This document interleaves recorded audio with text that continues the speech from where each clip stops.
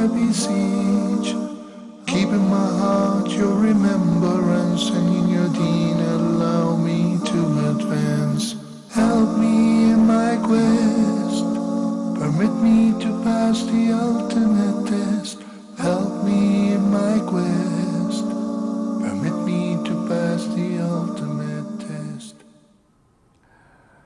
بسم الله الرحمن الرحيم الحمد لله رب العالمين وصلى الله وسلم وبارك على عبده ورسوله الأمين نبينا محمد وعلى آله وصحبه أجمعين Dear brothers and sisters in Islam alaikum wa rahmatullahi wa barakatuh Until you start calling yesterday or let us assume it was last week actually we talked about knowledge in the Quran and we stated some of the evidences of the importance of knowledge and that knowledge when referred to in the Quran and in Sunnah it refers to the, the knowledge of the Quran of the tafsir, of the sunnah, of the interpretation of the hadith of the Prophet of the fundamentals of fiqh, of fiqh itself. So it's anything that relates to Islamic sciences, providing that the intention is for the sake of Allah. And this is what souls are purified by. When your intention is for the sake of Allah and you learn and acquire knowledge that are related to the Quran and Sunnah, you've got it made. However, there is another type of knowledge that is also divided into two types. One type that is permissible. And this type is the general types of knowledge we know of, such as medicine, engineering, physics, chemistry, uh, mathematics, etc. If the intention is for the sake of Allah, in the sense that a person is studying it and is teaching it and is applying it in his life so that he would elevate the Muslims and he would bring benefit to Islam, then he is rewarded for that. And he is considered to be in the way of Allah Azza wa Jal. Not as the Islamic sciences, but he will be rewarded as long as his intention is for the sake of Allah. But what about if he's not doing this for the sake of Allah? He's doing it for a promotion. He's doing it for um, a better source of income to, to elevate his uh, standard of living. In this case, it becomes permissible, but he's not rewarded and it's not a sin. However, there is a second type of such knowledge which is considered to be forbidden. And this is the knowledge of astrology, the knowledge that claims stars to have an effect on our lives. So th those who follow the zodiacs and their signs and uh, uh, the stars and they believe that it has an impact on their lives, of course this is an act of blasphemy. The belief of it, and it definitely is an act of blasphemy when a person learns it. So this is this type is forbidden if you learn how to uh, do or deal with uh, black magic and sorcery. This is also forbidden, though it's science, though it's knowledge, but it is the type of forbidden knowledge. Also, also uh, uh learning um, acting and uh, singing and going to such arts, this is forbidden in Islam. Brother Hakim or Abdul Hakim from Nigeria? Assalamu alaikum, Sheikh. Wa alaykum assalam wa rahmatullah. Um, we have a peculiar situation in Nigeria. Okay. Uh, interest in Islam is forbidden. But uh, we have a scenario where uh, government will be building houses and government will give those houses for to civil servants or other individuals at a price with interest. Okay. We don't have any alternative except you don't take at all. And if you don't take, there are more than enough Christians in Nigeria that will take such buildings. What do we do in such instances? Okay, I will answer your question, inshallah. Brother Abdul Hakim is talking about an issue in his country, Nigeria, And he's saying that the government offers loans to those who would like to build houses, but it is interest based. And he's saying that if we decline taking such loans, the Christians would do it. So what is the situation? What is the answer? And the answer is very simple. Allah Azza wa Jal made giving interest one of the major sins in Islam. And the Prophet ﷺ said, May Allah curse those who take interest, and that is the government or the bank, and those who give interest, and that is you, and those who write it or document it down, and these are usually the accountants or the people who register such uh, debts in records, a data entry or whatever, and those who witness it, the two witnesses who've had witnessed such a transaction. All, the Prophet says, والسلام, all of them are in the same degree of sin. So it is not permissible for you to accept such a loan. Now, what the consequences may be, this is not your problem. Whether it's Christians who are going to benefit of it, or it's the Jews, or anyone, so be it. The most important thing for me as a Muslim to be saved on the day of judgment. So that I would not be questioned by Allah Azza wa Jal, why did you take or why did you give interest over the loan? Well, you know it's riba and it's haram. If I justify this in front of Allah by saying, oh Allah, because I'm afraid that the Christians would have taken it, Allah would tell me, then what's your problem? Let them take it. They're kuffar. They're disbelievers. So even if they take it, they're going to be held accountable on the day of judgment. If the government is offering you free wine bottles or champagne for the New Year's, and if you decline taking it, the Christians would take it. So would any proper Muslim say that, well, in this case, might as well take it so that they would not benefit of it? Definitely not. So I'm afraid that you have to try to encourage Islamic financing so that this would take place, inshallah, in your country. You have a majority of Muslims, you have a lot of Muslims, and if they collaborate, if they start, even businessmen, Muslim businessmen should get together and should try to form an Islamic bank with an Islamic board, Sharia board, that would justify their transactions in accordance with the Quran and Sunnah. And maybe then the government would start to deal with such banks and uh, dealings in an Islamic fashion, and Allah Azza knows best. Coming back to um, the issue, I believe that last week another sister from Nigeria called, but it was time to conclude the program, so I did not get uh, time to answer her question. And if I recall correctly, her question was regarding a woman who is being continuously bearing children, breastfeeding, and then the cycle goes on and on. So for five, six years, she did not fast Ramadan. So she's asking, what is the ruling on that? And the answer is that she, as long, alhamdulillah, that she's able to make up for uh, these days later on, even after a year, even after a few years, if this is the case, alhamdulillah, she is obliged, she must wait until she is free from any obstacles, and then she has to make up for the missed Ramadans, even if it was five years or 10 years uh, Brother Muhammad Nuruddin from Nigeria. Well, we lost him. I hope he calls back again. Now, Allah Azza wa Jal has told us how to identify proper knowledge. When He said, Subhanahu wa ta'ala, إِنَّمَا يَخْشَى اللَّهَ مِنْ عِبَادِهِ الْعُلَمَاءِ it is only those who have knowledge among his slaves, among his servants, that fear Allah. So if we would like to identify who fears Allah from those who do not fear Allah, we have to look at the knowledge that they possess. And if their knowledge leads to the fear of Allah, then this is the proper knowledge. And they're considered to be knowledgeable. If we look at people with this definition, we will be able, inshallah, to identify who are those of knowledge.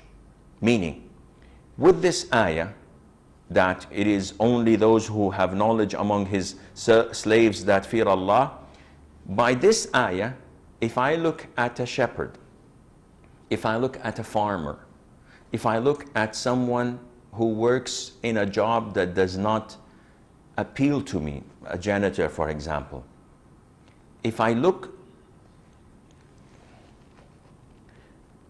if I look at such a person and I find him practicing, though he's illiterate, I find him praying in the first row in the masjid, I find him fasting, I'm, i find him avoiding forbidden things, this person is a scholar in my, eye, in my eyes, and he's a person of knowledge in that by the definition of the Quran. We have umm Liana from Saudi Arabia. Assalamu alaikum. Wa alaikum assalam warahmatullahi wabarakatuh. I have two questions. Okay. One is, what is the ruling regarding Ghaib Mayat prayer? Regarding? Ghaib Mayat prayer. I didn't understand it. Ghaib Mayat prayer. I, I, I'm unable to understand your question. Guy? for a dead person, uh, praying for a person who's uh, buried, who's prayed and buried back in our homeland. Oh, so burying someone dead in his homeland. Yeah, yeah and they have prayed there also. Can we pray from here again? Okay, so you're asking about Salat al Ghaib, yeah, which yeah, is a prayer of a person who's not present. Yeah. Okay, and the second question? And my second question is, what is the ruling regarding calling pet names? like uh, my daughter, I call her names like her name is Liana, but I, I call her Linnu Leah, even though I don't know the whether it has a meaning or not. Is it permitted? Is it permissible? Calling your mother in a different name than her name? No, calling my daughter. Calling your daughter in an, a different name than hers? Yeah, yeah.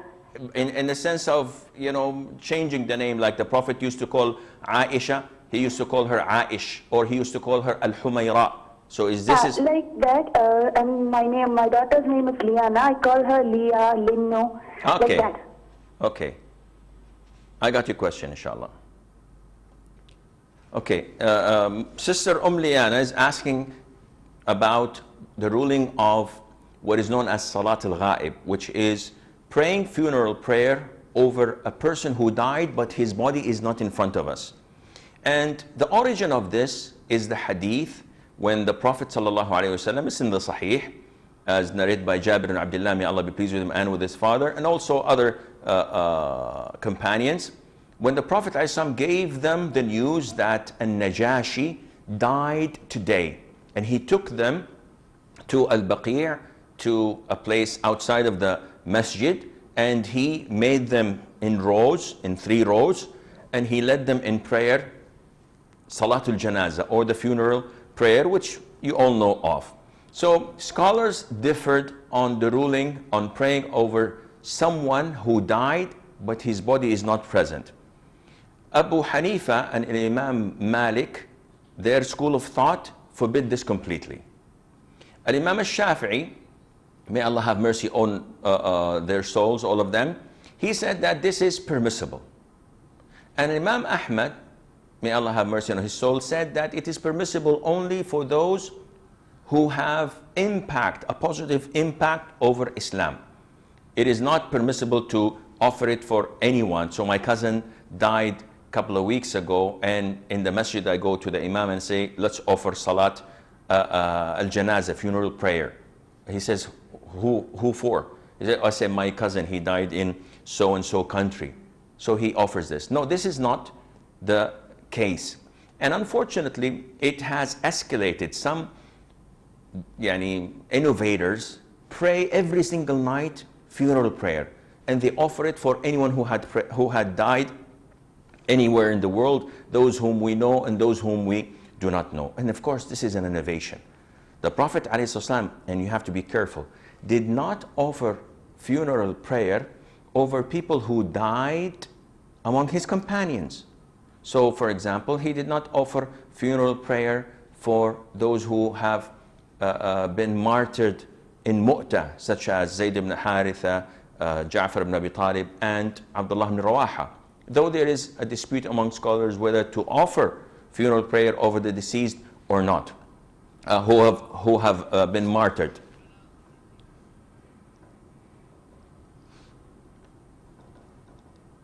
So uh, the most authentic opinion, I will get to that inshallah after we get Salim from Nigeria. Yes, brother Salim. Assalamu alaikum wa rahmatullah. Wa alaikum salam wa rahmatullahi wa barakatuh. Uh, Sheikh, I want to ask one question. Okay. But I believe that Islam is complete. I believe that Islam is complete. Uh, brother Salim, listen, listen to me. no addition, no Talk, talk to me through the phone. Do not talk to, do not listen to me from the TV. Turn down the volume of the TV.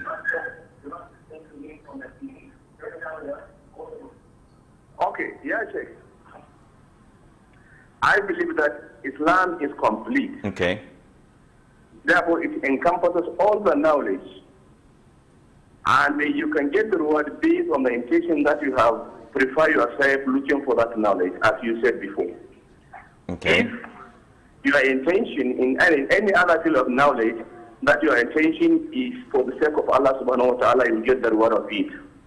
And if it is contrary, it may happen differently. But my, what I need clarification is that, for instance, if I'm a scientist, I want, I, I studied this scientist field in order to assist my country, to assist my fellow Muslims in the world. Therefore, for instance, in course of this course, I found myself faulty in another in my country. What is going to be my fate in the hereafter? Okay, I will answer your question, inshallah.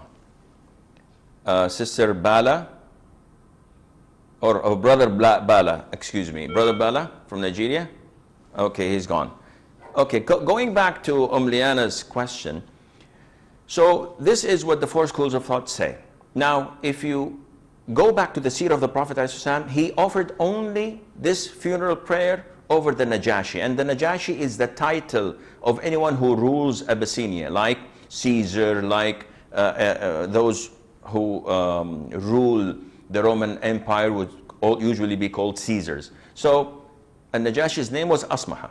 And when he passed away, the Prophet offered the prayer, والسلام, but he never offered the prayer on a person who was not there at all.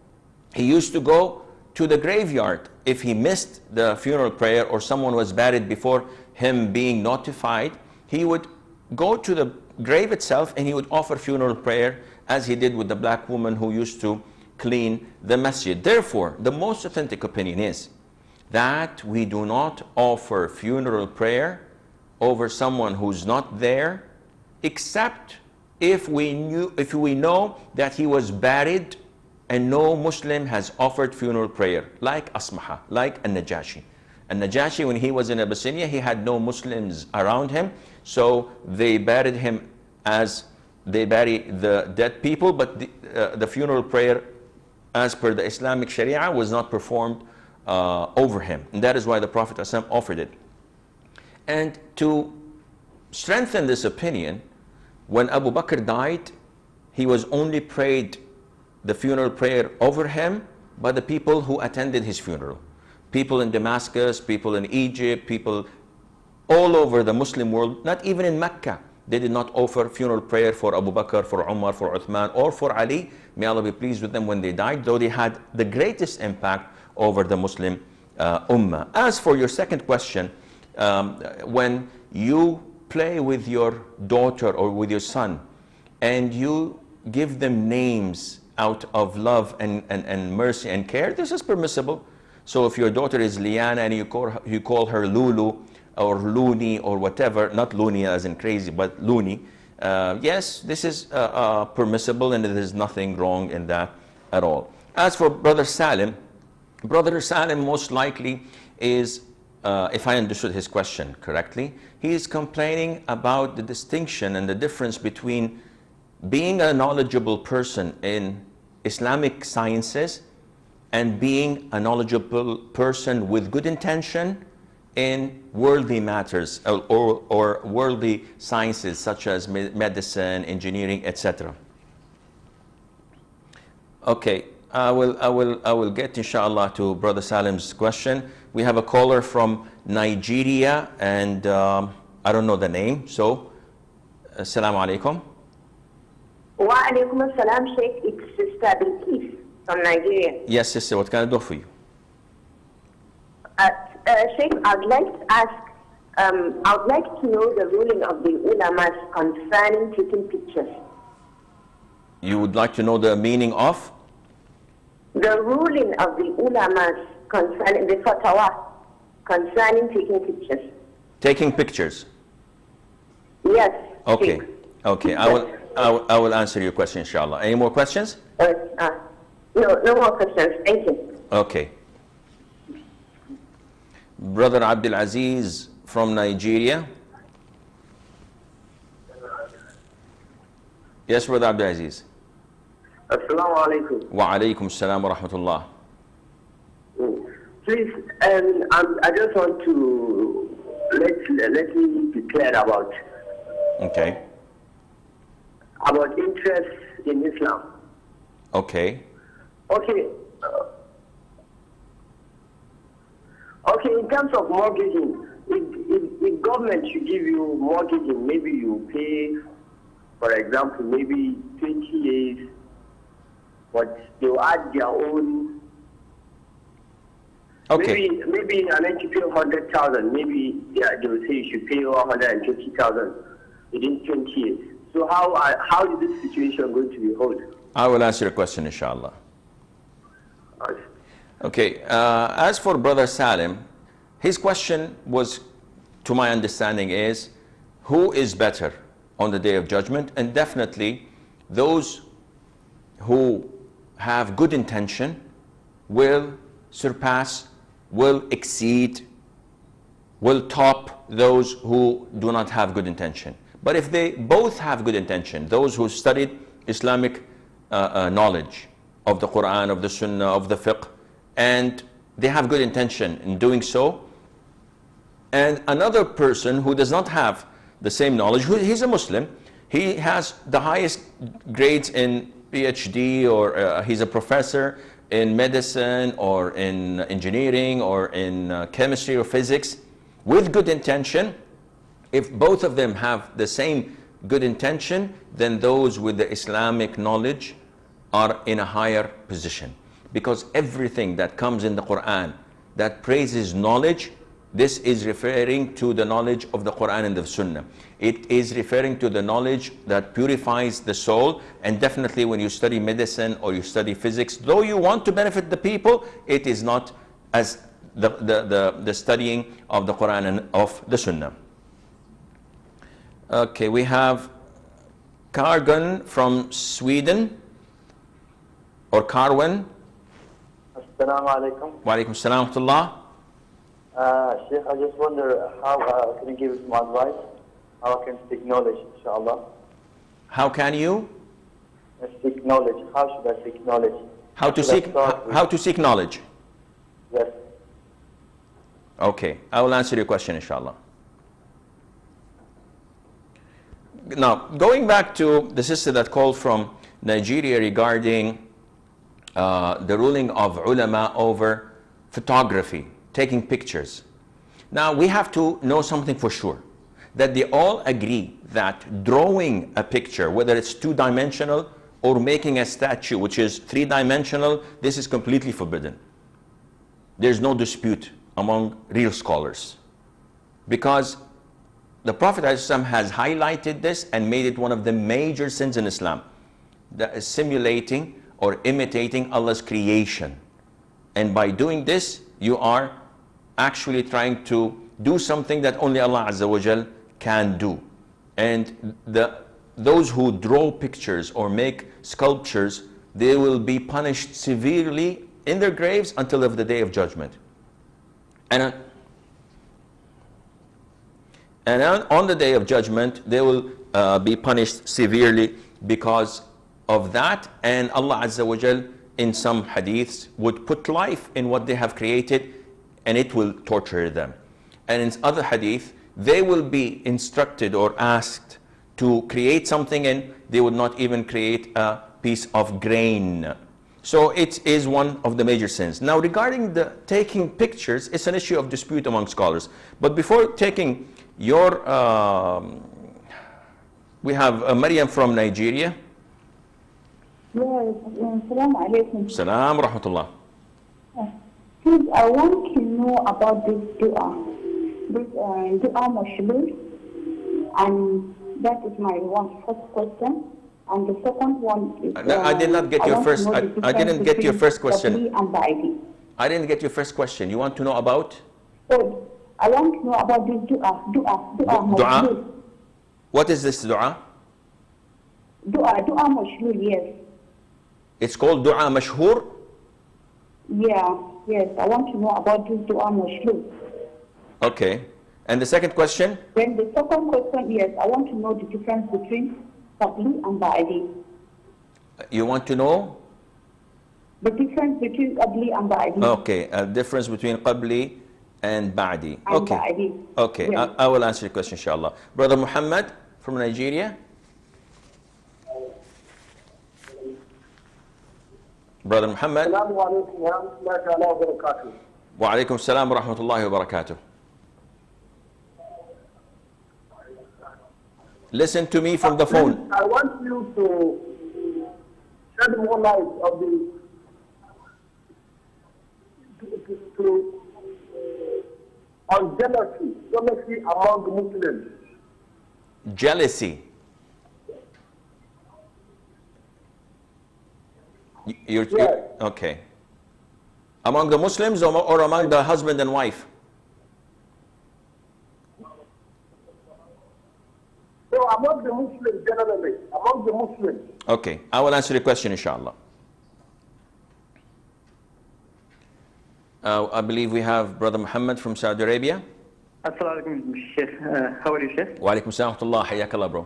Uh, thank you very much for your so good program, sir. Jazakallah khair. Uh, uh, I have one question. Okay. Is there a difference uh, between the prayers of men and women in Islam? Okay. Bec- because uh, most of the people have the saying that Abu Hanifa's ways of prayer, uh, rahmatullah, prayer of way is correct, and others are not correct. Some something like this, you know. Uh, I will answer Uh, your question, inshallah. Any more okay. questions? Thank you very much. You're welcome, bro. Alaikum salam.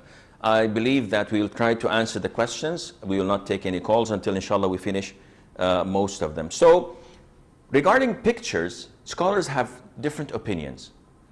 The majority say that this is not permissible because it's a picture. And the hadith of the Prophet, ﷺ, he said that may Allah Azza wa Jal curse those who take pictures, surah. So they said that this is the same meaning of the word, but those who differed with them said, yes, but photography was not at the time of the Prophet ﷺ. And when you take a picture, a photograph, it's different than when you draw, even if you look at the Mona Lisa, for example, by Da Vinci. If you look at it, it's a drawing. But if you take a picture of the same woman, of course, you- you're not supposed to look at it, but this is not the point. I'm talking about the difference between what a person drew and what the actual person looks like. The actual uh, photograph is not a simulation of Allah's creation. This is Allah's creation. So if I look in myself at the mirror, this is me. I'm not going to look at the mirror and say, MashaAllah, this guy looks exactly like me, but it's not me. This is me. And likewise, if I sign my uh, uh, check and someone photocopies it, I don't have balance in my bank account, but regardless. And he shows me the original and the Xerox copy. I would say that this is my signature, though it's a Xerox copy, because it's identical. So scholars who say that it is permissible to take photographs, they say that it is recommended not to do so unless there is a need. But it is not considered to be what the Prophet ﷺ has cursed. And they gave few um, guidelines. For example, they say that you cannot hang them on the wall, you cannot take pictures of grown up adult women. So if you have your daughter who is 15 years of age or 14 years of age, You don't take her picture because even if no one is going to see it except you, again, it is forbidden to take a picture because there is a possibility that people would look at it. And you, can, you may not keep pictures of deceased people, people who had died, because then this might lead to something that is more greater than uh, taking pictures uh, by itself. And this is what I believe in. We have a short break. Stay tuned, and inshallah, we'll be right back.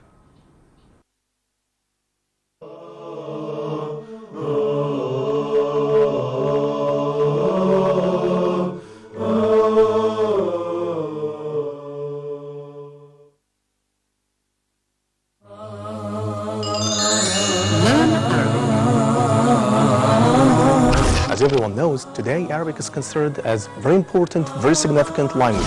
How can we produce the sound, the state of voicing, place of articulation, the manner of articulation?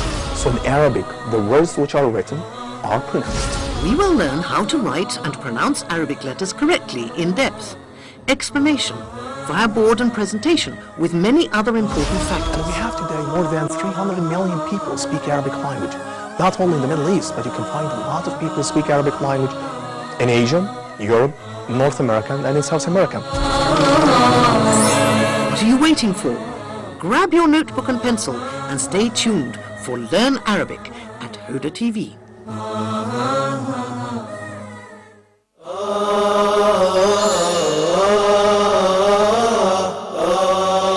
Please, brothers and sisters, in particular brothers, husbands, divorce is the last resort.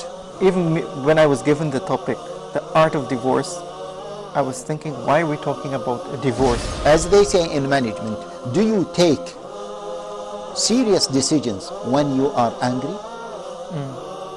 No one is taking a very serious decision in his life, Yeah. maybe in his business, while you are angry.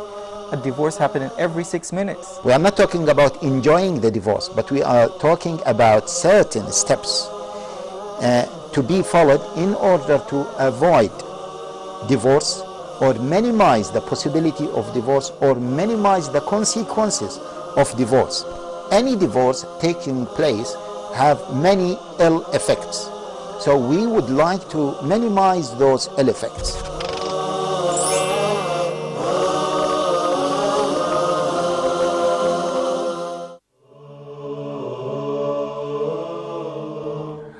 Assalamu alaikum and welcome back.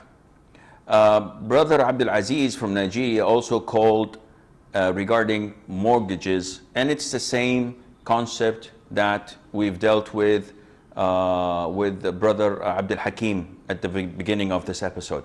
Any loan that has interest on top of it is considered to be riba and is forbidden.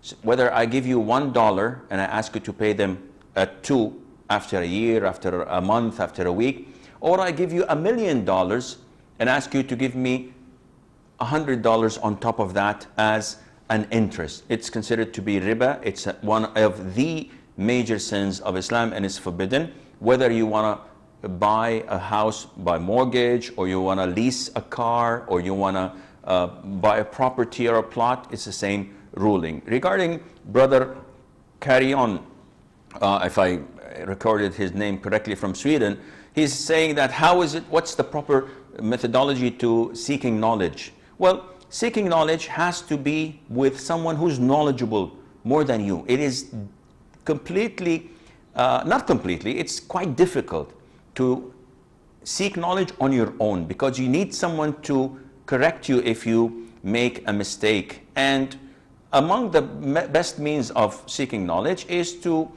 be associated with a sheikh, with a scholar, and you read to him a number of certain books, and he corrects you and he explains what's hidden between the lines, and he gives you the proper methodology of learning uh, proper knowledge. So you start with the Quran, which is the best book of knowledge by reading it, by memorizing it, by knowing the interpretation and the commentary of what the companions said about it, of what the Prophet ﷺ interpreted some of its verses. By doing this, you start to purify your soul. Of course, you need to know Arabic, but if this is quite difficult or impossible, then you have to look for another alternative, and that is by going through the interpretation by your own language. And then learn the hadith, learn the fiqh with the imam. If this is not possible, there are online universities that you can enlist in and you have a proper methodology of studying these books, but in a different manner. And there would be an interaction with the uh, scholars and etc.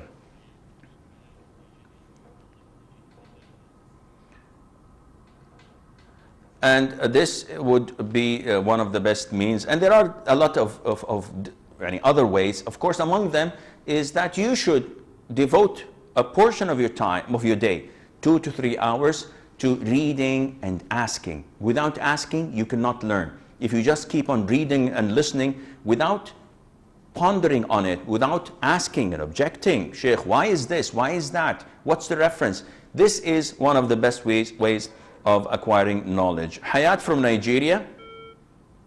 I think Hayat is gone. Abdullah from Nigeria. He's gone as well. Okay. We move on to uh, Sister Maryam. She asked about the dua al-mashhud. I don't know this dua al-mashhud. I have to go and, and, and search if there's anything in the books of hadith uh, uh, on this regard, but personally I don't know it, so I apologize. She asked what's the difference between qabli and ba'di. Qabli means before, ba'di means after, and this is usually uh, refers to the voluntary prayers which are before the fard prayer, as in the case of dhuhr.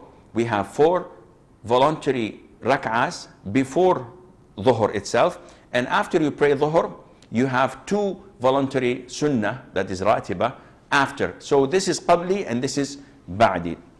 Brother uh, Muhammad uh, asked a question about jealousy between the people. And jealousy, it might not be the proper word. The proper word, would be probably envy. Because jealousy is something that can be positive. I feel jealous if someone talks to my wife or someone talks to my daughter. I feel jealous if my wife goes out exposed or showing some of her flesh or so showing some of her hair or showing her face. This is the proper jealousy. I would not like my wife to work with other men in mixed environments. This is proper jeal jealousy and it's permissible. Not only that, it is highly recommended in Islam. So what brother So I think what brother Muhammad was talking about is uh, envy. We have a, a, a sister Asia from Saudi. Assalamu alaikum Wa alaikum warahmatullahi salam. wabarakatuh. Wa rahmatullahi wa barakatuh. Yes, sister. Uh, uh, Sheikh, I have two questions. Okay. Uh, question number one, is it allowed to take the sweets uh, uh, on the occasion of a birthday? If someone is celebrating birthday Mm. uh, and giving the sweets, so we are not celebrating birthday, but uh, they give some chocolates or cake.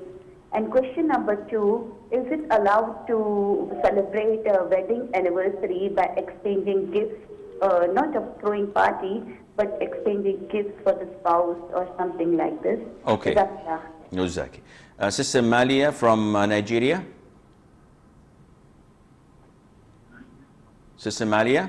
Salaam alaikum. Wa alaykum assalam wa rahmatullah. Yes, sister. Please, Sheikh, I'm asking, asking about that first thing that I asked that time. I had to explain what you Jazakallah. Wallahi, I did so, not. I what did, I'm really asking now is some some sheikhs really in my country are interpreting the way you are gonna repay the fast. Some are saying that after one year, if you will pray, you will give food to the needy one. After another one, you will ask another thing again, like maybe another two, two mudu or something. So I want to know, am I going to pay the fasting like normal fasting, like I will, like the way I eat it without putting something on it, without feeding needy? And my second question I- is I'm, I'm unable to understand. I'm unable to understand your first question. About, yeah, somebody asked about the fasting. One of my children, one of my children, uh, one of my sons, I, I feed it I feed maybe during Ramadan, so they asked me that since I will not do it, I should feed it to another person. So am I going to do the fasting for the other one again?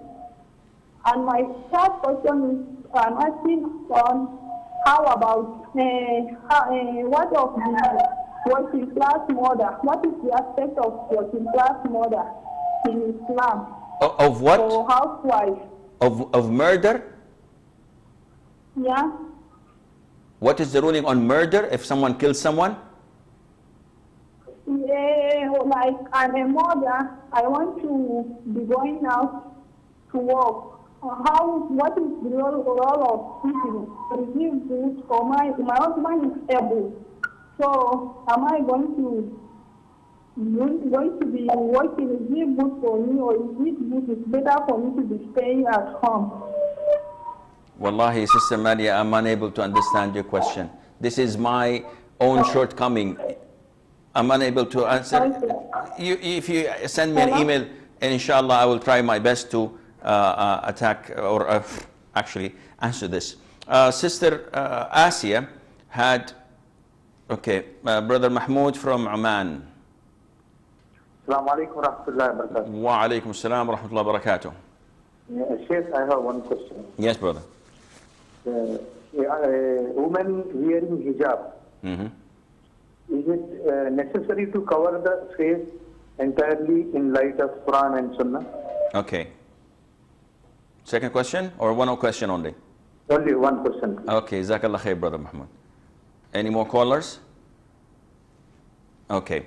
Um, Sister Asia asked about, she knows that celebrating birthdays is haram in Islam because it's not part of our religion. It is coming to us from other religions, other cultures. She's asking about what's the ruling on uh, if someone gives us sweets or sends us a piece of the cake because they celebrated their own birthday, so they're giving gifts uh, uh, away. I believe that as long as you did not participate in that birthday party and you did not congratulate them and you received this food, this birthday was not a religious celebration. Therefore, uh, to me, my own opinion is that it is permissible for you to take that birthday, but do not fall into the mistake of saying, oh, Jazakallah khair, or thank you, have a happy birthday. No, this is not permissible in Islam. As for marriage anniversaries, and she's saying that I know that it is not permissible to celebrate marriage anniversaries, but what about exchanging gifts? Again, it is a form of celebration to exchange gifts. Now, don't get me wrong. I'm not against at all giving your spouse a gift, but do not choose that particular day. As Muslims, we value, we cherish our wives or our spouses, and we do this throughout the whole year. We don't need a particular occasion or a, a, a- celebration or an anniversary to honor them, and then the rest of the year we step on their uh, uh, stomachs. This is not the Islamic way. We cherish, we value our spouses, and to the best of our abilities. Of course, nobody's perfect. But to designate one day as an anniversary to give a gift or to choose Valentine Day to give your loved one a gift, all of this is not part of our culture. It's not part of our religion. And the Prophet ﷺ highlighted this by saying, whoever imitates, whoever mimics, whoever copies a people, he would be among them. So if you copy the Jews, you'll be among them. If you copy the Christians, you'll be among them. And these celebrations did not come to us from the Muslims, and hence we are not allowed to do it. Okay, we have Abdullah from Nigeria. I think he's gone. Then Barira. Barira from Nigeria. Barira from Nigeria. Hello, Assalamu alaikum, Ya Sheikh. Wa alaikum assalam wa rahmatullahi wa barakatuh. Uh, I want to say um, congratulations for all that you are doing in Hudayr, both you and Sheikh Salah. May Allah bless all of you and Ameen. all the staff in Hudayr and the Muslims all over the world. Thank you very much. We are very happy. Jazakumullah. And I, it's not a question, but uh, just an advice, if it is going to be possible. You have a lot of uh, um, viewers in Nigeria, and we are learning very, very much uh, from this blessed channel. Alhamdulillah. Uh, so it's just an advice that if it is going to be possible, I see that you are all having a great difficulty in understanding some of the people when they ask questions due to the language. True. Uh, the, the, he- the heavy accent of the English. So please bear with us, and if it is possible, uh, to maybe have somebody on standby who can understand that kind of English and then be translating or writing it for you and passing it over. Because we are honestly we are honestly benefiting from all these questions and the answers, and we appreciate the fact that you are being so patient, all of you, and bearing with us. And may Allah continue to bless you and to guide all of you and all of us till the end of time, inshallah. Jaza- Shukran wa jazakallah. Well, Jazakumullah khair. I uh, very highly, I very highly appreciate uh, Sisters uh, Barira's um, uh, suggestion. It's a very valid one, and I hope, inshallah, the management of Huda would do something like that. We value our viewers in Nigeria greatly. We look, inshallah, forward for having the Muslim Ummah in Nigeria following the Quran and Sunnah. And this is extremely important. I do not know what's happening in Nigeria. I have no knowledge. All what I hear is from the CNN and from the BBC about the disturbances, about the killing, about the violence, about the, the bombings, and all of this is not related to my religion as a, as a Muslim. So I don't know who's doing this, and I cannot point a finger and say that there are extremists or because I'm not receiving what's actually happening on the ground. All what I'm hearing is from non-Muslims conveying the news to us. So I can't point any fingers, but I value the people of Nigeria because they are so keen on learning Islam. It's very obvious that the majority of those who are calling from Nigeria, we have to promote Quran and the Sunnah with the understanding of the Salaf. And we have to annihilate, we have to defend Islam, we have to stop those, if there are any, who are trying to tarnish the reputation of my religion, of Islam, the peaceful religion, by giving a bad image about the Muslims or by going into means and ways that the Prophet ﷺ forbade and he warned us from following. So I hope the management will take this into consideration. Sister Maryam from Nigeria. Alaikum. Wa alaykum assalam wa rahmatullah. I have very Uh, difficulty with the accent. Sister Mariam again calling from Nigeria. Okay. And that Adua, the one I told you is Dua Mashlul. M-A-S-H-L-U-L. Mashlul. Dua Mashlul, yes. Okay. There isn't anything in the Sunnah. There isn't anything in our Sunnah that refers to this Dua ul Mashlul. Mashlul in Arabic means paralyzed. So, as if you're telling me that there is a specific dua for those who are paralyzed, and there isn't anything of such. Uh, we go back to Brother Mahmoud from Oman. Uh, is it? No. We go to, to Brother Muhammad regarding uh, the issue of envy. In Islam, it is not permissible to have envy. I cannot look at your house. I cannot look at your um, uh, car. I cannot look at your health and envy you because envy is, is forbidden in Islam. Envy is wishing that all this goodness and blessings and favor of Allah upon you be removed. So if I see a big house and I say, this guy doesn't deserve it, I wish Allah Azza wa makes it burn. If I see a beautiful car, "Ya the guy didn't have an accident in a whole month. What is this? So I give you my worst of feelings, and this is completely forbidden in Islam. And it only shows that this person with envy in his heart is a person in distress, is a poor person. He's sick because he's not appreciating Allah's gifts, he's not appreciating Allah's favor upon him, and instead he looks at others and look down at himself, thinking that he's deprived from Allah's mercy, so he has a big problem. Brother Muhammad, from somewhere, um, I think from Saudi, he asked, Is there a difference between the prayer of a man and a woman? And the answer is no. Men and women to be to pray alike. Why? Because the Prophet said, "An-nisa'u shaqa'iqur rijal." The women are the sisters of men. So whatever comes in the Quran instructing them to do it, they have to do it exactly as men. They are equal in the sense that in in in, in, in the terms in the terms of instructions, they're equal.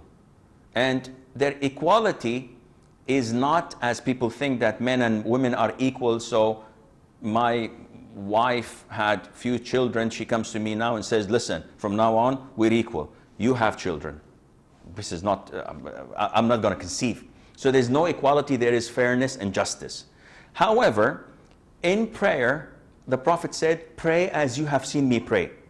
So we learn how to pray from the hadiths of the companions of the Prophet ﷺ, and they did not differentiate between men and women. So they pray exactly alike. Now, some scholars said that when a woman is praying and people are looking at her, she should not spread her hands when she's prostrating. She should not do certain things because this would expose her body. We don't have any instruction of this in the Quran, in the Sunnah, nor in the companions' hadith. So it is an issue of ijtihad. This is what the Imam thought would be best. So if, yes, if a woman is praying in a place where men are looking at her, she is not uh, instructed or recommended to pray in a form that would draw attention to her. She should conceal herself to the best of her uh, ability. But when she's praying alone or in uh, uh the middle or in the midst of uh, women, no, she must pray as uh, the Prophet ﷺ instructed her to do so. Brother Mahmoud from Oman, he's asking the same old questions that people have been asking for hundreds of years. What's the ruling on covering uh, a woman's face? The consensus of all scholars of Islam that covering the face is recommended. Let me repeat that. The consensus of all scholars of Islam, they say that covering the face is recommended. You would not find a person coming and say, no, she should uncover. She, except nowadays, those liberals, those uh, secularists who claim to be Muslim, who would come and fight anything that protects women. So they would come, but they're not scholars. They're not people of knowledge. They are nobodies. And in a few years' times, after they die, nobody would even remember them except by cursing them. I'm talking about the great scholars of Islam. They all agree that covering the face is a virtue it's something recommended. They differed whether it's mandatory or not. And whenever we have a difference of opinion among scholars, we have to do as our manual tells us to do, our Quran. And Allah tells us in the Quran that whenever you have a dispute, you refer back to Allah and His Messenger, وسلم, which means that refers back to the Quran and to the Sunnah. And if you look at the Quran, you would find that there are certain verses and there are verses that are not certain. So we have to, first of all, choose the certain verses and apply them. And when it comes to hijab or covering the face, we would find that the majority of the evidences in the Quran, they, they direct us to covering the face so that women, as in the verse of 59 Surah Al-Ahzab, that Allah tells the Prophet ﷺ, say to your wives, your daughters, and the believing women, or the women of the believers, the wives of the believers, to lower their jilbab so that they would not be recognized and hence harassed. So one of the two, either women are recognized by their faces, so, so they should cover so they cannot be harassed. When they covered, people would respect them. You would never find someone harassing a woman that is wearing and covering her body from uh, head to toe. Or it means that those who used to uncover their faces at the time of the Prophet at the time of the Arabs were the concubines and the slaves. So people, bad people, thugs would probably harass them. So Allah Azza instructing the women, the free women to cover so that they would not be mixed up with these uh, uh, slave women or concubines. Any way, as I said, it's an issue of dispute. You do what is safer to you at the sight of Allah. And to me, I believe firmly that covering the face is a must. Whether you are in this country or in, the, in Europe or in the US or in Canada or wherever. But if someone it appeals to him more and he thinks that following the other opinion is correct, this is his choice, he will have to answer uh, to Allah on the day of judgment, and Allah Azza wa knows best. This is all the time we have. Until we meet next time, fi amanillah. Wassalamu alaikum wa rahmatullahi wa barakatuh. My heart's speech, your mercy is what I beseech. Keep in my heart your remembrance, and in your deen allow me to advance. Help me in my quest. Permit me to pass the ultimate test. Help me in my quest. Permit me to pass the ultimate